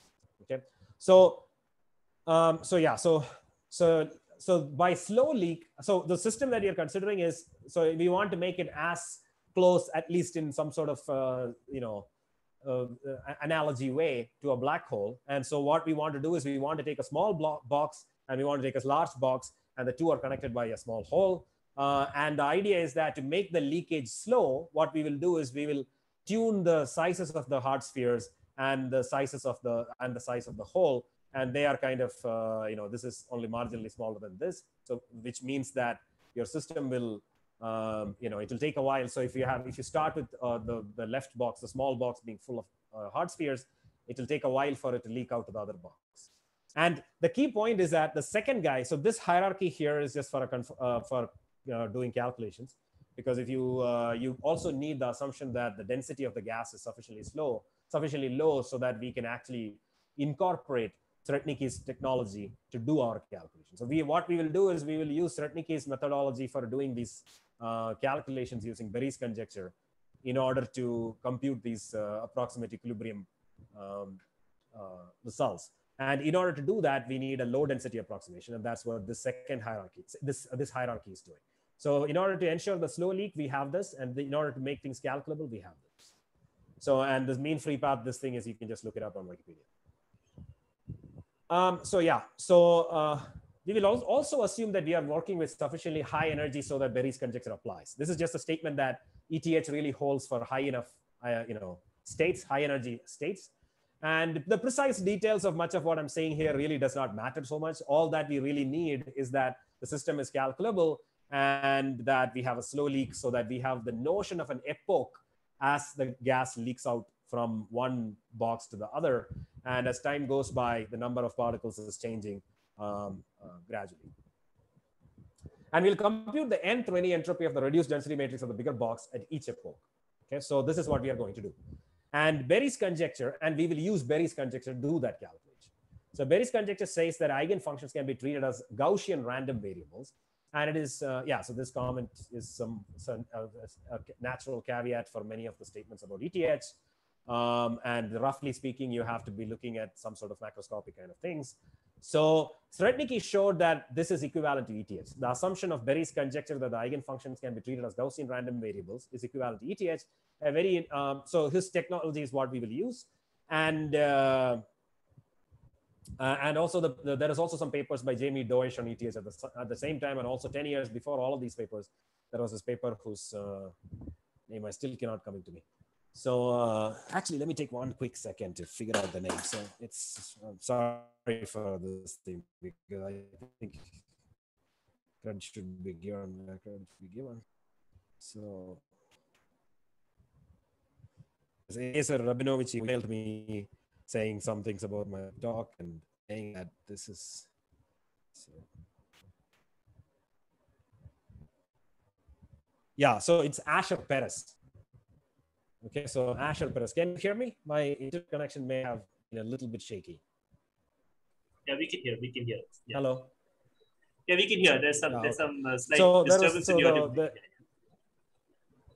Okay. Um, yeah, so just let me know if there is a problem and uh, I can switch Wi-Fi. So yeah, so so the Srednicki, Deutsch, and Asher Peres were the people who started this ETH business. And uh, so what I will need is very specific realization of this uh, Berry's conjecture, which is basically that if you're looking at high energy eigenstates, so this is this is essentially all I will need. So what I'm going to do is I'm going to compute this uh, Renyi entropies, and when I compute these Renyi entropies, the eigenstate of the system will play a very crucial role, and it will effectively you will see in the next couple of slides that these there will be products of states that will show up in my uh, Renyi entropy calculation, and this uh, uh, this so the so the so and and Renyi and uh, uh, Berry's conjecture what it really lets me do is that whenever there are multiple copies of these uh, uh, these wave functions that show up, I can replace them by a Wick contraction. That's what it really lets me do. And these Wick contractions, the two point functions are known, so I can explicitly finish my calculation. That's what makes it interesting. So, and note that these are all wave functions. I mean, you should not think of them as correlation functions or anything. These are just wave functions of the hard sphere gas. And uh, this is just a Wick contraction.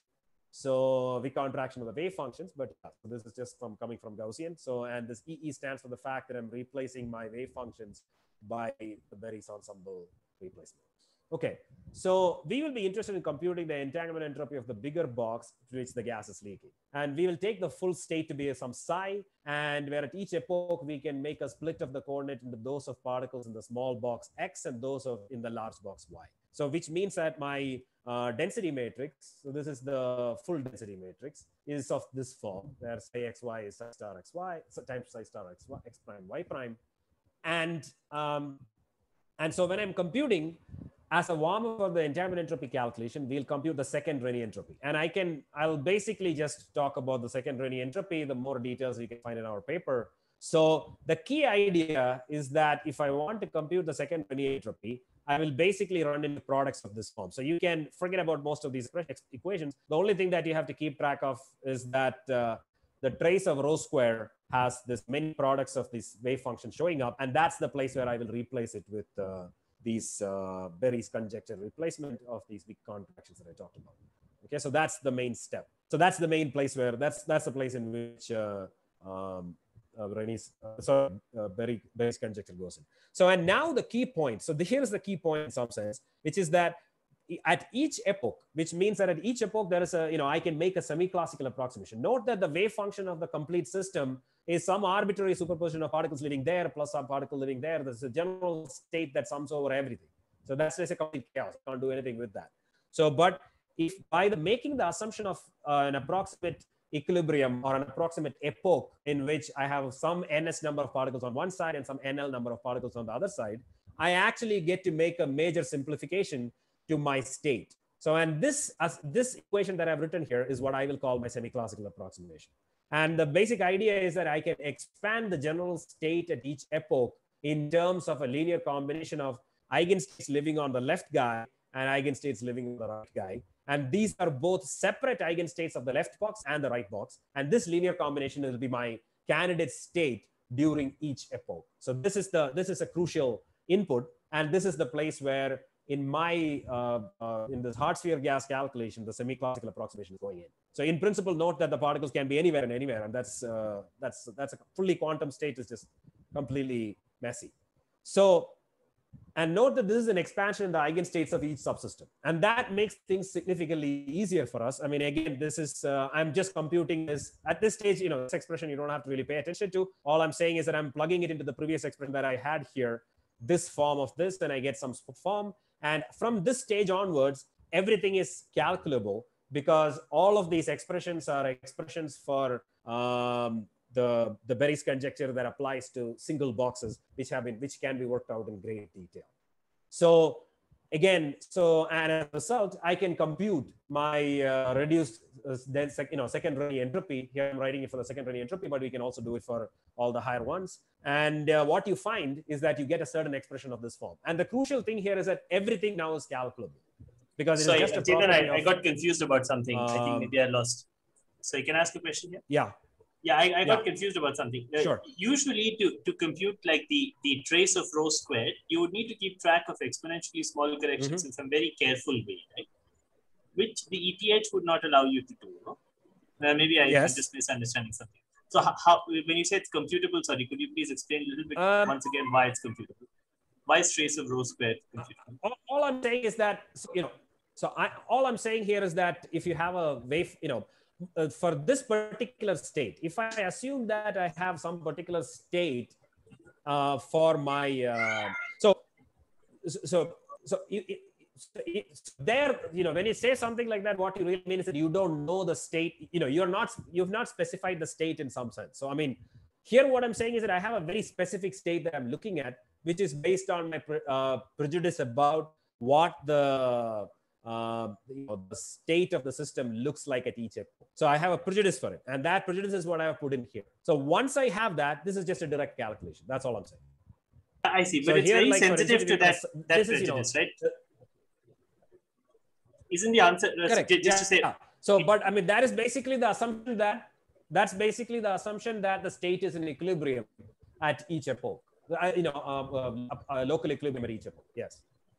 I see, but just to say, yes, but that's if, for instance, yeah, yeah, but if for instance, you know, if I if I take take like this room and I compute trace I think the thing that you might be concerned about, yeah, I, I think I think I can probably add. So I think what um, what I am trying to reproduce is merely the shape of the page curve. So in order to really say whether the uh, approximate semi-classical state is really how good a descriptor of the pure microscopic state is the thing that you are concerned about.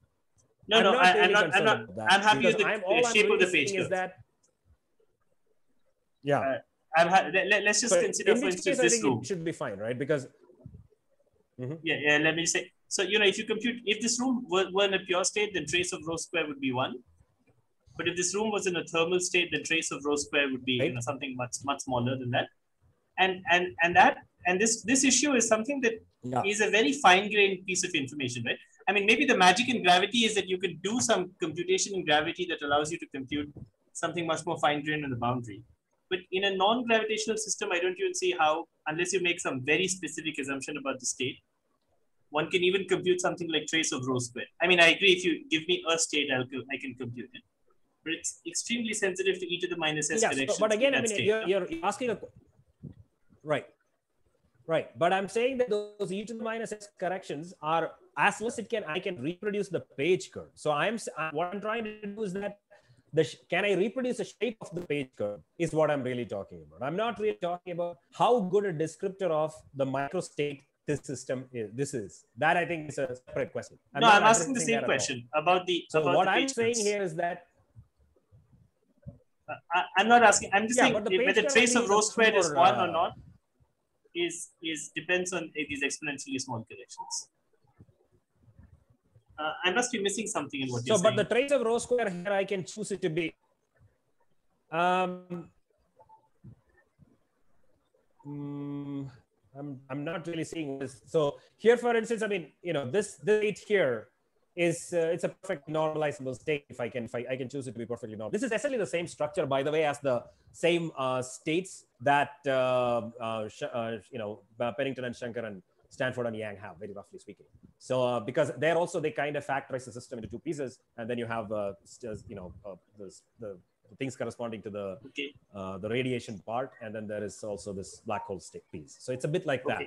So it is somehow inspired by the same sort of thing. So uh, I guess what you're saying is that this is a semi-class. That's why I'm emphasizing that this is a semi-classical definition of the state. It is not a.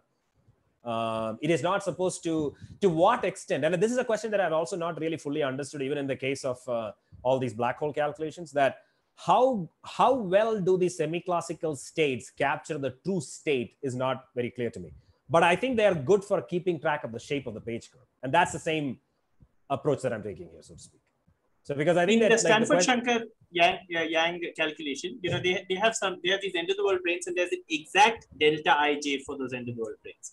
You know, it's not delta ij plus e to the minus s. It's exactly Right. delta ij.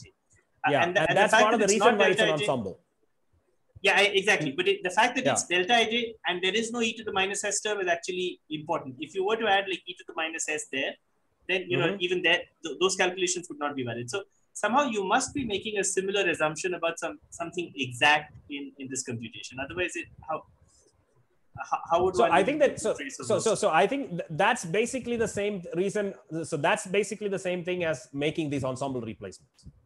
So these ensemble replacements that I'm doing there are precisely the analog of that. So when I do this calculation here, and you know, at each epoch, when I am making this, I'm not taking these states to be, uh, you know, I'm not taking the states to be exactly, you know, I'm not taking the precise value of the states or anything, right? I'm basically what I'm doing is I'm computing this trace rho L square, and the object that I'm getting is is being evaluated in the uh, uh, in the Berry ensemble. That's the way I'm calculating. it. okay, okay, fine, thank you. So, and I think that that's, uh, I- I would strongly suspect that what you're saying would actually be morally equivalent to that.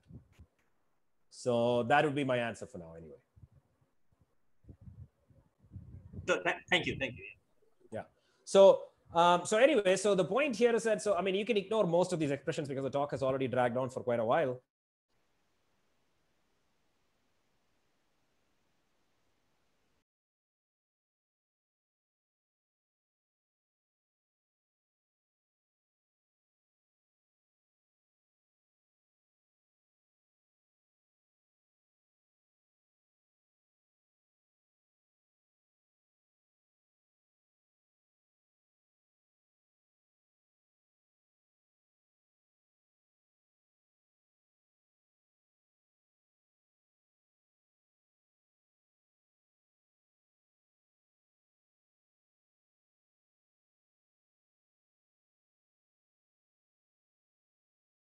Hi, sorry, Chethan, I, I I can't hear or see you.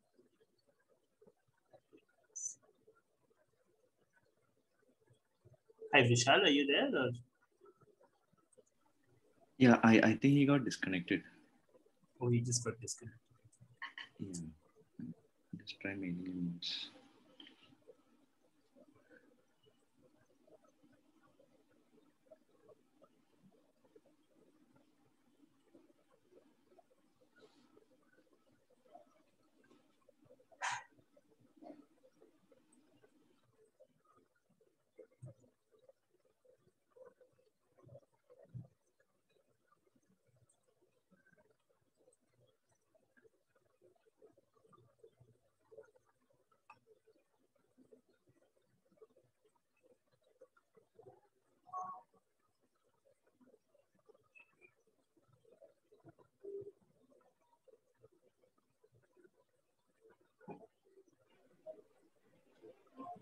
Vishal, there's some way of contacting him or something, or you've, you have uh, messaged him or Yeah, yeah, I've just mailed him.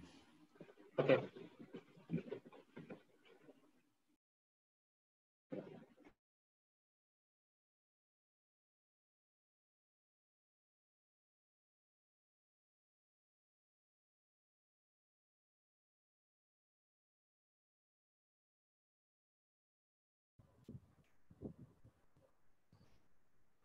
Chethan, you're back.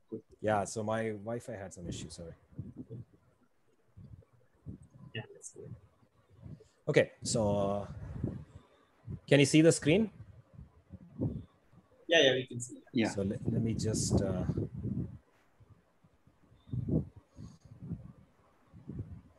yeah. So, yeah. So all I want you to pay attention to is just these two terms here, which are connected to the the entire you know, the reduced density matrices of the large and the small box.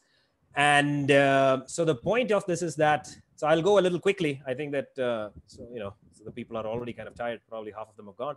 So existence of the epoch epoch time scale allows us to use Berry's conjecture in evaluating the reduced density matrix of the bigger box at each epoch. And when plotted against epoch, this leads directly to a page curve.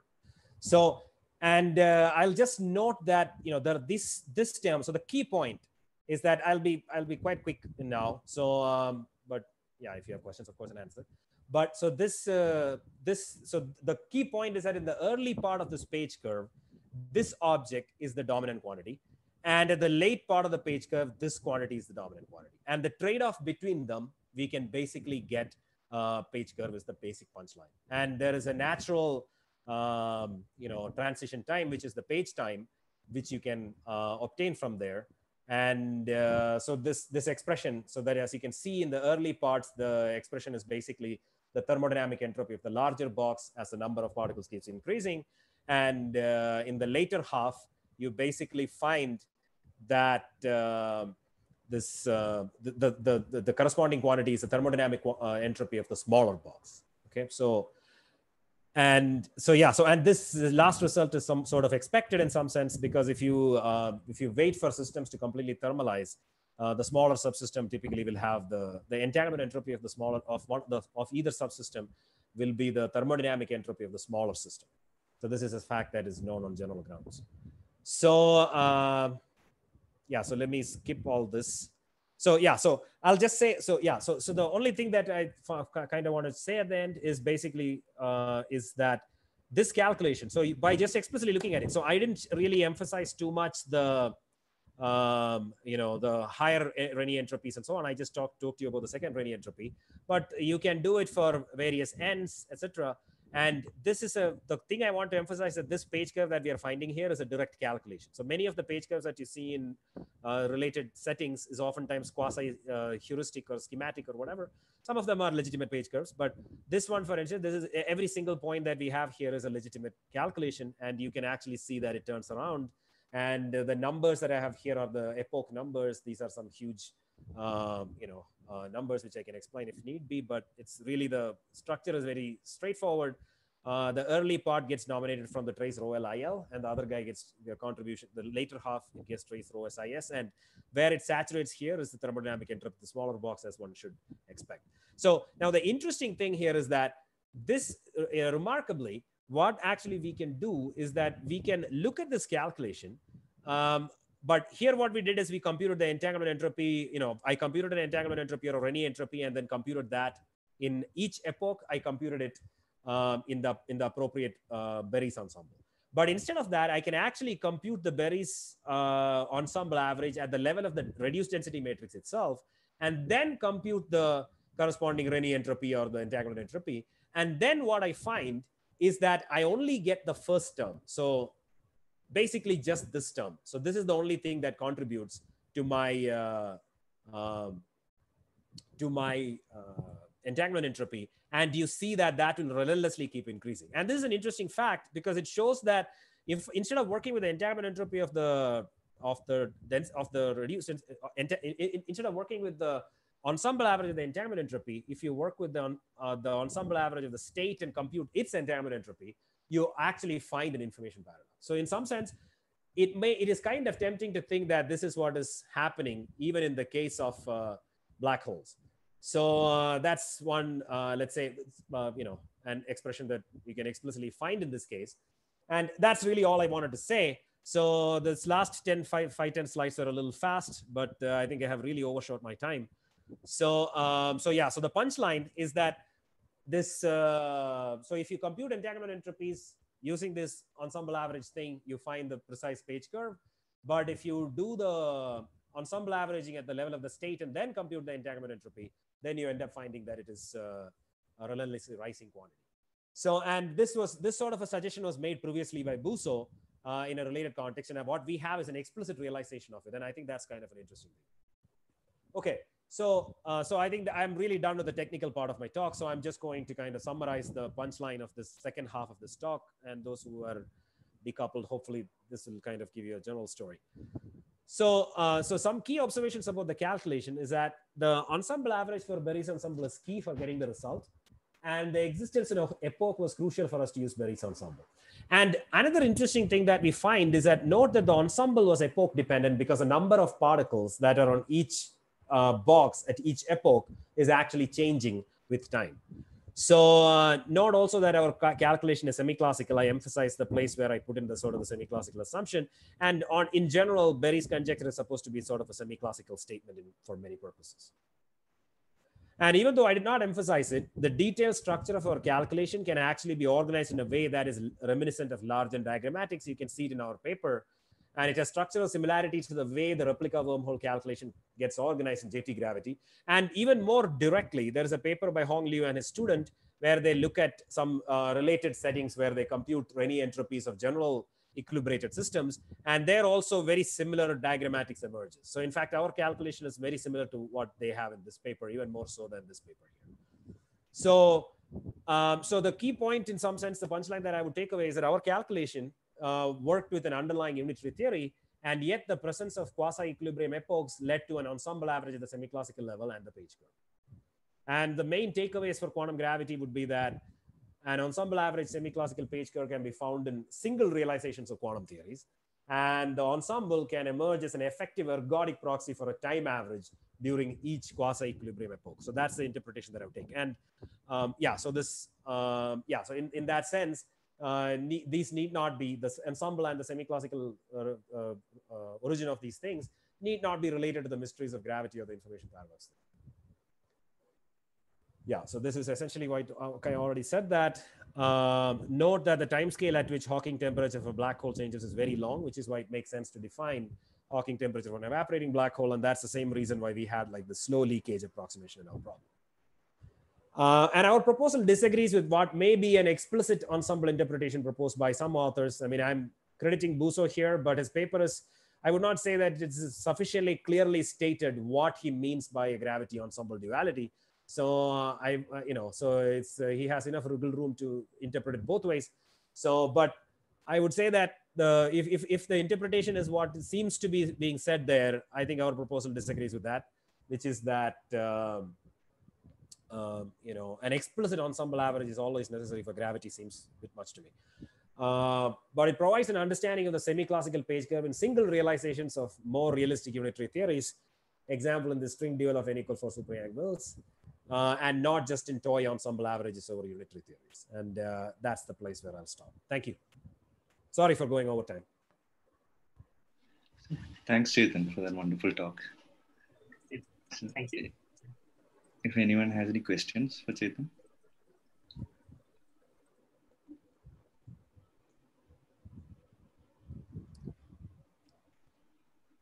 I see that some of the collaborators are in the audience. Hi. So uh, you made a statement about how this semi-classical approximation was needed, right? Which is which is that you assumed a factorization. Um, sorry, say that again. So uh, it's at some point you were emphasizing the semi-classical approximation, which is that you assumed a factorization. Yeah. But uh, yeah. I'm slightly confused. Like you could have a Berry uh, conjecture for like the whole bipartite box, and Yeah. even and you could probably do the calculation with the uh, with the uh, with the ensemble average for those states, right? And uh, would you would you still get this? Um, so, so let me try to interpret the question. So, uh, so what you're asking is, um, so for for example, um, Uh, say, say, say, say, start, say start with the Berry state where like the particles are all in, all in one box. mhm. And then at, at, at, at the end, yeah, I would expect that uh, uh, maybe like the state would evolve to the uh, state for the bipartite box because particles, uh, I I guess. yeah. So, but I mean, that's the setup box. in which I'm working, right? I mean, Yeah, uh, so I, I could, I, I'm just asking if I, if I work with a naive variation ansatz of a superposition of these kind of states, where the particles are in a, in a box and particles are in the bipartite mix, uh, are equally spread over two boxes. Would I still land on a, uh, I'm not completely. and- um, I'm not completely understanding what your question. So, um, so here, so for instance, this this is the main assumption that we are making about the system in some sense. That's the way I'm looking at it. So, um, so you're asking whether the full psi could be viewed as some kind of uh, um and, and provided I can come up with a Berry's conjecture for the full psi. yeah so I, I so yeah so that's an interesting question in some sense because you know so i think that actually there is a slight generalization of the berry's conjecture which might apply to all uh, macroscopic uh, local equilibrium states which what i mean by that is that you know let's say that there exists a, uh quantum state which has an interpretation as a uh, macroscopic smoothly varying it has an interpretation of that form let's say there is some you know there is some sort of semi-classical approximately local equilibrium kind of a macroscopic interpretation that state has. If if if such a state exists, I think that that state would actually also satisfy uh, Berry's conjecture in the sense that it will also do this Gaussian factorization. That's what I think. I think that is what you're trying to get at. The thing. And, and then would you be able to get the page curve with, uh, without assuming this factorization there? Um, so so the for the, in order to get the page curve, I really need to have like two pieces, right? Here I'm trying to really do a page curve for a completely ordinary quantum system, which is like I have one one piece here and one piece here, and I want to move my degrees of freedom from one to the other. So if I if if I do not look at tensor factorization, I'll never get a page curve. So that is just Yeah, I, I, I see that. Like you, you're choosing one piece at one point and other piece at the other point. I was just Yeah. asking So- like uh, if I could do away with that. And uh, I mean, in, I mean, in some sense, I could I do away with the semi what you call as a semi-classical approximation. Uh, so that factorization has not so much to do with the semi-classicality. I would say that it has to do with the fact that you need to split the system into two pieces if you want to see the page curve. So that's what it is about. So, uh, and I think that if you do away with the split of the system into two pieces in this, you know, in this, not that this is a completely normal quantum mechanical system in a sense. It's just no gravity, no holography, nothing. So, and there, if I don't do a split, it just it's just automatically. I mean, the, the page curve is not even formulated, right? So that's the sense in which you really need uh, factorization there. Yeah. So, but I think the your uh, earlier question, which I think is an interesting question, and I uh, did think about a little bit about it, which is that um, um, you know this. Uh, so, so the question of so I think that the statement about uh, Berry's conjecture uh, is usually phrased in terms of eigenstates, but I think there is a slightly stronger statement that one can make for any quantum mechanical state which has a uh, ma- macroscopic bulk local equilibrium interpretation, semi-classically, or semi-classically, or you know, which has a macroscopic interpretation. Then I think that state can also be replaced by uh, Gaussian ensemble states. I strongly suspect that that is the case, even though I have not seen a statement of that kind in uh, the literature. Probably, if uh, Vaishnav is there in the audience, maybe he has some comments. But I think because we had some discussions about this, or maybe he doesn't want to say anything.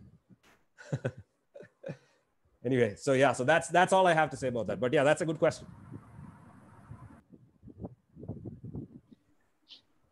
Okay. Any more questions?